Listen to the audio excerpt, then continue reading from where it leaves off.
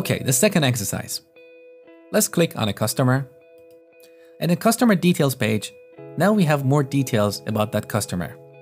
We have their membership type and birth date. Birth date is a new property that you need to add to the customer class. Now let's go back and click on the second customer. Look, this customer doesn't have a birth date. So birth date is an optional or nullable column, and we render it here only if this customer has a birth date.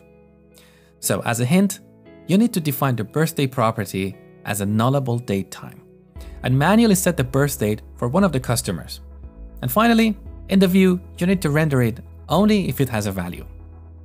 So go ahead, implement this, and when you're ready, move on to the next exercise.